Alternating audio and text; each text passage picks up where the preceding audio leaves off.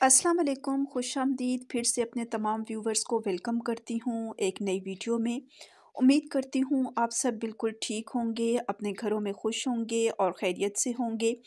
جی جناب، تو موسم اچھا ہے اس وقت، لیکن گرمی آگے آنے کو ہے۔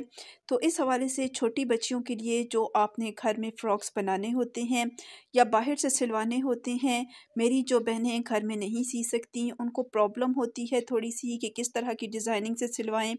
کیا تھوڑا بہت ہلکا پھلکا کریں؟ کیونکہ بچوں کے کپڑوں پر تو زیادہ ڈیزائننگ کی ضرورت نہیں ہوتی اور بالکل کرنی بھی نہیں چاہیے۔ سمپل سمپل سے رکھوائیں، کوئی زیادہ لیسز نہیں لگوائیں۔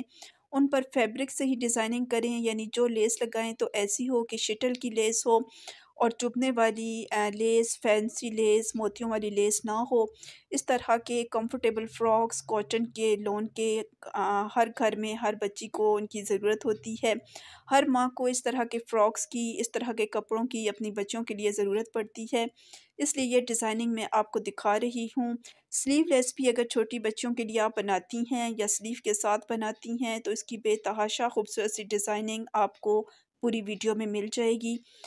اچھے سے ویڈیو کو دیکھ لیں اور جو کپڑے بھی آپ نے سلوانے ہوں، اس کی ڈیزائننگ سلیکٹ کر لیجیے۔ زیادہ تر جب بچیوں کے کپڑے سلوانے ہوتے ہیں تو اس کے لیے فیبرک آپ باہر سے نہیں لیا کریں، بلکہ اپنے ہی کپڑوں سے کپڑا بچا کر بھی آپ ڈیزائننگ کروا سکتی ہیں۔